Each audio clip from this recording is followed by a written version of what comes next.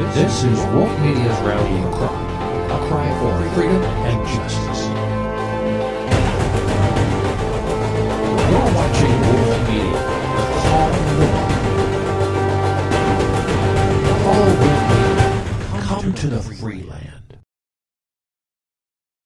分析中美经贸大战在去年年初的时候，其实应该更往前推，是二零一七年年底的时候就开始有这样的征兆。那么去年二零一八年年初发生之后，其实我们一再的说，这不是一个价格的问题，这不是一个数字的问题，嗯，它其实是一个信仰的问题。那什么是信仰的问题呢？就是你相信民主吗？你相信制裁智慧财产权应该受到保障吗？你相信法院应该是中立的，还是法院信党，只听党的指挥？那么可以，法院可以信党，听党的指挥。那么你放在国际上的时候，你就要面对大家的质疑，就是说你会不会尊重智慧财产权？你会不会保护智慧财产权？你如果不能够保护智慧财产权，没有关系，国际也有国际的做法，可能有一些呃。比如说三零一，特别三零一的单边的这种啊惩罚，当然在 WTO 之后，单边的惩罚一直被这个啊说服，就是说不要再去进行单边的惩罚，而是透过一个国际的机制啊，比如说 WTO 的一个协调机制来解决。可是 WTO 协调机制，我们看它运行了至少二十年了哈，就是说从中国加入啊 WTO 到现在，事实上也已经将近二十个年头哈。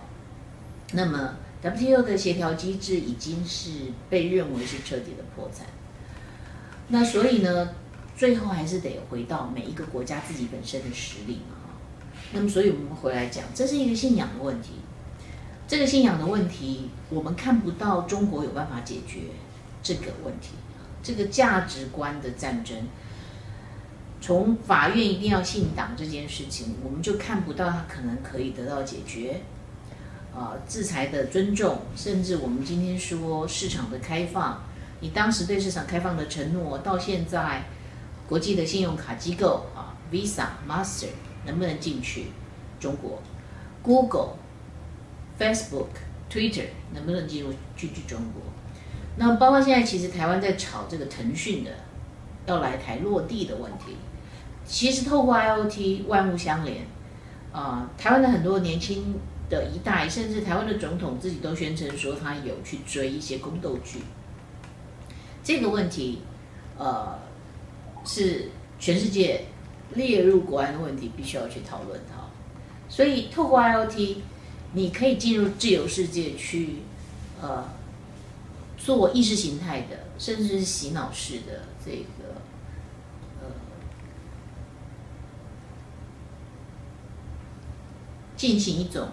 大概是，我我认为这个叫数位战争了哈，进行一种数位战争，其实已经宣战了。可是相对你却把你自己的市场封闭，那其他的自由世界的声音没有办法进去，好，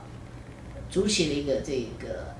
网络的这个铁幕，这是公平的贸易战争，也是不公平的讯息战争。那这样的问题要能够得到彻底的解决。唯一的办法就是法院不要信党嘛。那法院不信党，在中国如果发生彻底的这个雪崩的，恐怕就是中共这个政权。因为法院不信党的前提是你真的落实宪政，你真的落实民主，你真的落实啊人民自主啊。那么甚至到最后应该要民选的总统，所以这条路是很难走的。那么。基于这样的观察的时候，我们一直断定说，这样的一个这个贸易战争是很难得到妥协。那么果不其然，其实呃，最近川普就特别说了，就是说，好，你取消了我三月的这个呃，川普跟呃特朗普跟这个习近平的会面啊，习近平还有时间跑到欧洲去逛大街，呃，当然呃找了这个嗯，找了意大利啊，说要加入“一带一路”，要去签盟约。那这样的一个问题，其实。给欧洲也带来，欧盟也带来很大的一个呃威胁啊。欧盟一直强调就是说，希望中共尊重啊，欧盟是一个团结的，它是一致的哈，不要个别去挤破任何一个欧盟的呃共同体的这个成员。好，所以呢，川普最近是说，要么这个跟中共中国的协议呢，这个贸易贸易战的这个协议呢，要么要很伟大，很伟大就是说我必须要在呃在我们刚刚讲的信仰的问题上面得到很大的突破啊，在吗，不然就是用关税，因为这个是棒子跟胡萝卜，所以如果说你不能够让我觉得这个协议是很伟大的，是突破历史上的这个呃结构性的改变啊，再不然的话。美国还是要技术关税来惩罚，所以这个是最近的新闻哈。那甚至有这个，这一样是法国广播公司发法广的新闻，就是呃，特朗普推动这个对中国更强硬的这个贸易协议啊。这个我想，这个嗯，我们其实已经讲了快一年了，就是这样的一个结果。我到目前为止也看不到任何呃中共可能的出口。那么既然没有出路，中共会怎么做？其实现在我们看到的就是中国的这个失业率节节上升的问题。